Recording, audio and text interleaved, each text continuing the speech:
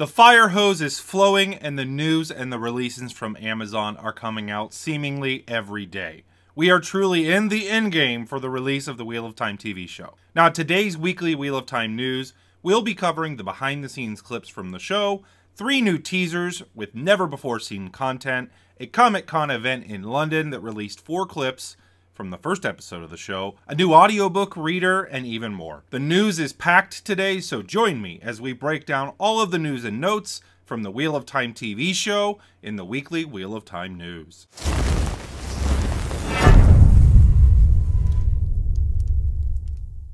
Now, we have a ton to get to today, but first, quick thank you to the video sponsor, NordVPN, but we will have more on them in a bit. Let's hit the spoiler warning for the video. Today's video will carry a spoiler rating of red, but with major spoilers only through The Great Hunt, the second book in the series. If you haven't read all the way through book 2, you may be spoiled watching this video. You have been warned. So let's kick things off with an announcement that came this past week that Rosamund Pike has recorded a new version of Eye of the World in audiobook form, and that this version would be presumably released here in the near future.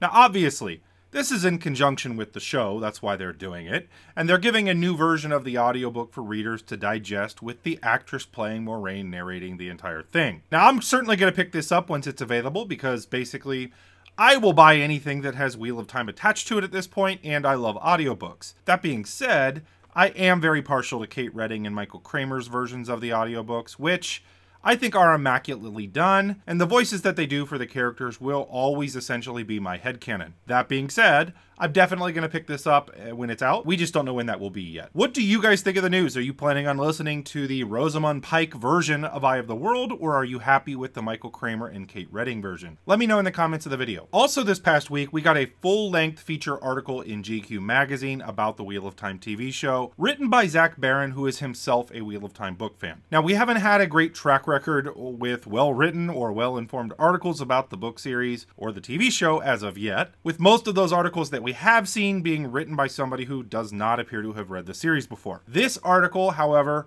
was very different and it was excellently written. It was comprehensive in the sense that it covered a lot more than the previous articles. It brought us new pictures, new quotes, and of course, new perspective on the show. Now, I'm going to try to hit the highlights of the article here. I will have it linked in the description of the video so you can read all of it if you would like. And then I'll talk about some of the photos in the article as well, as there were a couple new ones that we haven't seen before. One of the main highlights of the article, in my opinion, was the attention to detail that they mentioned. One of the main examples given is that they built an entire multi-million dollar set for the Two Rivers, which is what they're calling Emond's Field in the books and then proceeded to mostly burn it all down. They actually burnt part of the village down to create the realism and devastation of the Trolloc attack on Winter Night. Now, what struck me as they described it in this article is that Amazon did not even blink about building an entire set, spending millions of dollars on it, and then burning it down. They knew that they needed to swing for the fences and go after what they wanted to create. And that actually leads into what most of the article is about. Basically, Amazon set out to create the next Game of Thrones.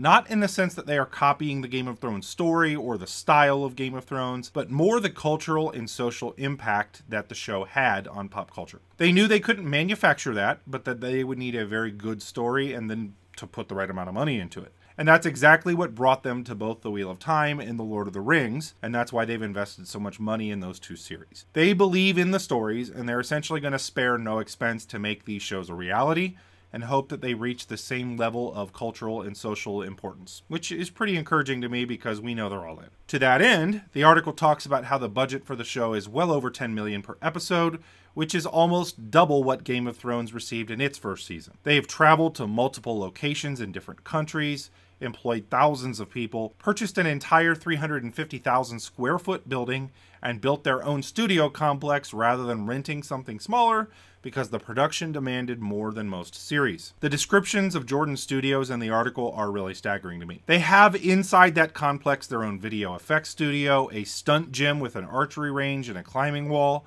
a full-time armorer, a 3D printer, a costume department that created 350 different costumes for the first two episodes alone, multiple football field-sized sound stages, and four different construction companies that are contracted to build new interiors when they need them for the show. It is certainly not to say that money spent automatically equals a great show, but money not spent can certainly equal that. One thing that will not be able to be said about this show is that it's low budget or low in scope. They really did swing for the fences. The article also talks about the people involved in the production, specifically Rafe Judkins and how he connected with his mother after coming out as gay, and then through the books, they both found characters they could connect with, and in turn, that connected them. This was actually part of Rafe's pitch to Amazon to get the show greenlit.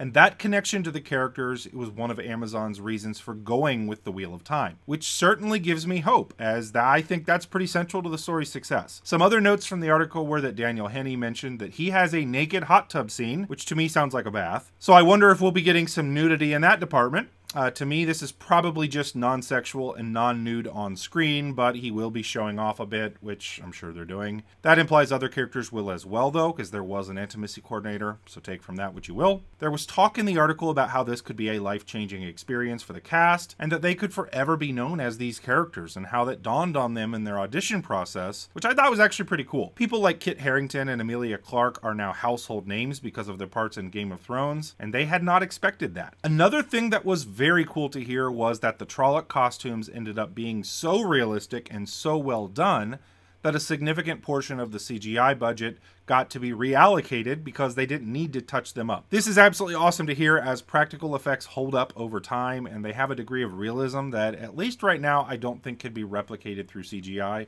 At least to me, I always notice the difference. So there were also a number of pictures included in the article that we have not seen before that I want to run through here real quick. First up, we have this feature picture of the White Cloaks. Now in the front here, we have Geofram Bornhald, and then off to the right, this here is Eamon Valda. Now what I think caused quite a reaction from people people was the costuming. Some people loved it, some people hated it. What I can say is that this is for sure a change from how they described in the books. But I know for all of you who call me a shill already, you're just going to think I'm shilling some more, but I actually like the change and I at least understand why it was made, which is always important to me. In the books, the White Cloaks are described very much in line with Knights Templar, with burnished breastplates and full armor with clean white cloaks. And in this picture, at least, there don't seem to be much in the way of armor. The sunburst is on the shoulder rather than on the breastplate or the cloak. Now, why do I like this, you might ask? Well, for one, this gives off the crazy religious fanatic vibe far more than Knights Templar do to me. Uh, it's also far more practical, as White Cloaks are described as wearing their armor all the time, which is not really realistic. This type of costuming communicates what the White Cloaks are without even needing explanation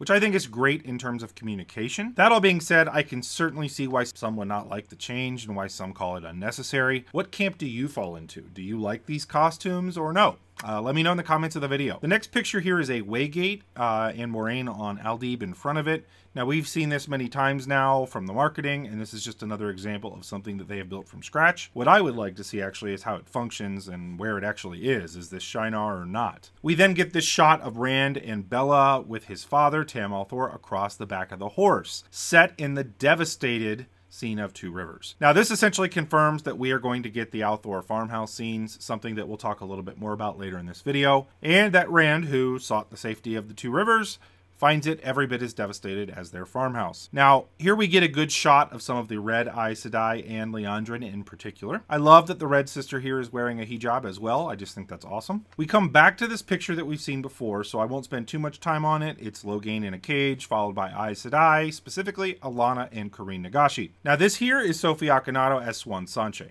Now, this costuming is very ornate, and she looks commanding. I know the criticism here is that Siuan would not wear something like this, and while I would tend to agree, this appears to be a formal session of the hall. And then in another scene from the trailer, we see her wearing something much less intricate, so that seems a lot more like Siuan. So this might just be a one-off. In any case, what did you all think of the GQ article? I think it was one of the best ones that we've seen yet. Let me know in the comments of the video. So as with the other teasers that Amazon has released in the past week, I won't be covering each frame by frame today. I have a video that is almost done that will break down all of them that we've gotten, and that is hopefully coming very, very soon. But I do want to talk about this a little bit. Amazon released a short form teaser on their Twitter account highlighting the various costumes of characters in the show. Now, as I mentioned earlier, the costume designess Isis Mussenden created more than 350 costumes for the first two episodes of the show alone, which is actually a staggering number. And there appears to be a huge degree of variation, style, design, material, which I think is really, really cool in these costumes. My favorites from this bunch are Lan's costume. I, I love the styling and the themes that they've chased in creating the Malkieri look. I also love the look of Nynaeve in her very stout Two Rivers wool, and Logain, who has a very distinct look of nobility about him. I think all of their clothing kind of speaks to who they are and where they're from. Now, I'll break this down further in another video, but what did you all think of the costume teaser video that they released? Let me know in the comments. And next up here, we'll talk about the behind the scenes clip that was released by the show account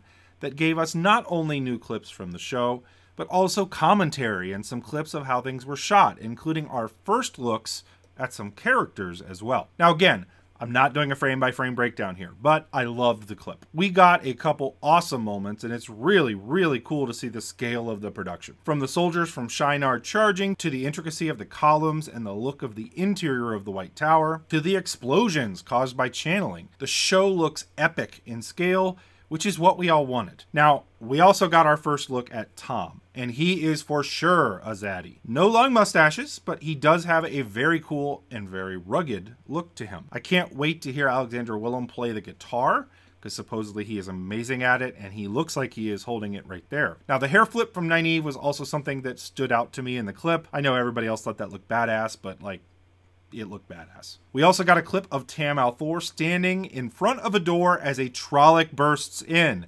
Again, further giving proof that we will see the Trolloc attack on the al'Thor farm, on Winter Night, not just the village. I really, really love the behind the scenes stuff like this, and I love the context of how they make the show. We know from Rafe that they have a team working on producing behind the scenes stuff, like they have a video crew just for that, for behind the scenes clips and whatnot. I can't wait to see that. I'm almost as excited to see that as I am the show almost. But let me know what you think of the behind the scenes clip in the comments of the video. And here is yet another short clip that Amazon released that gives a short explanation of the Aes Sedai and what they are for non-book readers. This was the first entry in what appears to be a series of Wheel of Time explained videos that they are doing releasing for new readers or new watchers for that matter. Now, while it is a short clip, there was a lot of fun stuff packed into it. We get to see more clips of channeling and some narration from Rosamund about how Aes Sedai are feared, but that their title actually means servants of all. Now, a couple cool things that stood out to me from the clip. The first was the fact that we got a small clue that maybe Kerene did not die when she was flung into the column by Logain. We have this shot of Moiraine, Liandrin, and what appears to be Kerene channeling at somebody off screen. But you can see the broken chair there in the background, so this this looks like Kerene maybe got up. I also loved this shot of Alana making the ground blow up, which is certainly very cool. This video will be a part of my longer breakdown video of all of these clips actually, so if you want more, again, wait for that. But let me know in the comments of the video what you think of this one. Also this past week was the London Comic Con, and it featured a Wheel of Time track that was not digital and it wasn't open to the non-paying public, but at this track they showed four actual scenes from the show to viewers. They showed Egwene's Women's Circle initiation scene, so like the stuff of her falling in the river and then coming up with the colors, all of that. The extended scene of Moiraine entering the Winespring Inn that we had already had released, but it had extended uh, dialogue and other shots in it. Then there was also a scene of the Trolloc attack on the village and the al'Thor farm. And then a scene in the aftermath of the attack on the village with the people blaming Moiraine for the attack and her saying they need to leave. Now, obviously, I was not in attendance for this one, but fellow Wheel of Time YouTuber Wheel of Time Theory was able to get into the event and recorded live reactions to the clips as they are playing. Now, I'm going to have his video linked in the description of this one. It's absolutely something that you should go check out. He has two videos up on the topic. Go watch them. But I had a couple takeaways from the audio that we could hear and simply things that he was saying during his reaction. Now, one is that the fight sounds epic and devastating. Given the amount of screaming and watching him react, I think the attack on Emond's Field is going to be fleshed out very, very well. Now, what is also awesome about this exchange is that we do see the attack on the al'Thor farm. Tam does fight off Trollocs, or one Trolloc at least, and the way it's described, Tam looks every bit the Blade Master, and Rand every bit as shocked as you would think seeing Tam do his thing for the first time. Another thing that was confirmed from the clips, according to Wheel of Time Theory, is that we are going to see a Draghkar, or at least he heard one. Now, even though we have not seen any of them in the marketing materials as of yet, he said there would be one. So I thought that was really cool. Now, in general, just watching his face and his reactions had me super excited to see the show.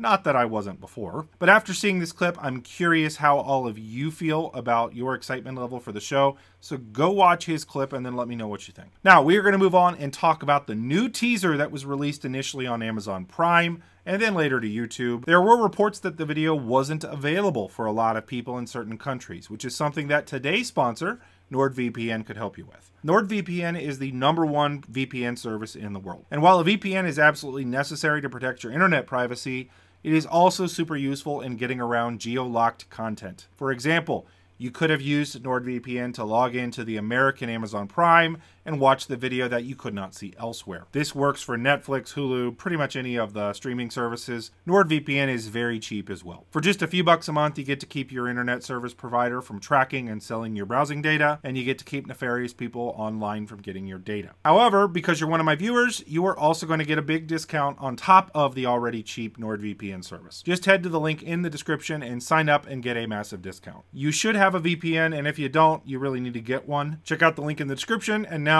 let's get back to the video. So as I explained, Amazon released another teaser directly to Amazon Prime, and it just sat on the page without anybody really noticing it for a day or two.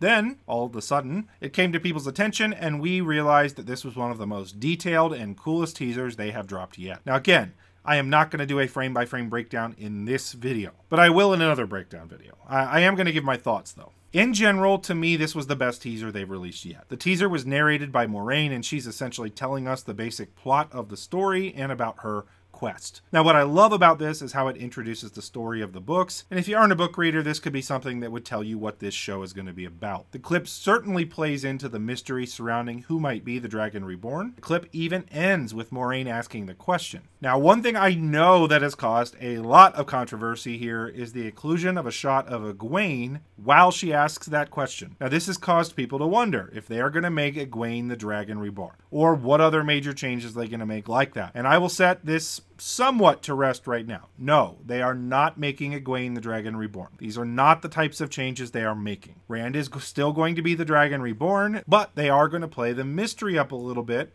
more than they did in the books. In the books, it was obvious from very early on that it was Rand. It may become obvious in the show, but it will not be initially obvious. Now, some other thoughts from the teaser. Number one, the visuals are stunning. This is very epic in scale. There are shots that are reminiscent of The Lord of the Rings. It's just beautiful. Number two, they are not shying away from violence, and I truly think the fights are going to be impactful and felt by us as viewers. I think we're likely to see some people die that we've met or that we might care about from the books, so get ready for that. Overall, I am far more encouraged by this teaser than I even was before which is saying something. I cannot wait to break this down with you in my full breakdown. But what did you guys think of the teaser trailer? Let me know in the comments of the video. Let's quickly move on to some news that I released last week about WotCon, the new Wheel of Time convention that I'm a part of, along with a ton of other fans, organizers, and creators around the Wheel of Time. We are hosting the con here in Columbus, Ohio next July 8th through the 10th. And last week we not only announced the con, but we set out to raise about $12,000 to get the con off the ground. I can say this with no embellishment at all. We were absolutely blown away by the response. We hit our $12,000 goal within 9 hours of announcing the con, and then blew past our stretch goal of 17,000 within 48 hours. I cannot say what an awesome community this is, and we are already working to get the final details out to you all and start the ticketing process and opening up the hotel block. Look for information coming here within the next two weeks. I can say this. You will absolutely have details here well before the release of the show. Now, you can follow WotCon on social media, specifically Twitter at WotCon Official to get updates. We are expecting to sell out of tickets once they open, so make sure to be on top of it if you are wanting to be a part of the first year of the convention. So last week in the excitement of announcing WotCon, I completely forgot to include the contest winner from the previous week. So as a reminder, the contest was to let me know what Aja you would choose by replying to a tweet that I threw up on Twitter and then you would receive an Aja shirt if you were selected, and that one would come from shopwheeloftime.com. The winner of that contest is tweeting the pattern who told me that they would be green Aja. So make sure to direct message me on Twitter so that I can get you out your shirt. This week's contest is going to be about the books. I want to know who your favorite character from the books is and why. Comment on this video with your answer and of course you must be subscribed to the channel and like the video as well. If I pick your answer you will get any t-shirt you want from shopwheeloftime.com. So to recap, like the video, subscribe to the channel, and then leave a comment on who your favorite character is from the books and why. That's the news this week, everybody. Thanks for watching, and make sure to check out the Patreon if you want to support what I'm doing here. Things are about to get absolutely crazy, and I know some fun stuff coming. I could not do this without your support, so I thank all of you from the bottom of my heart. Thanks again for watching, everybody. Until next time, Peace out.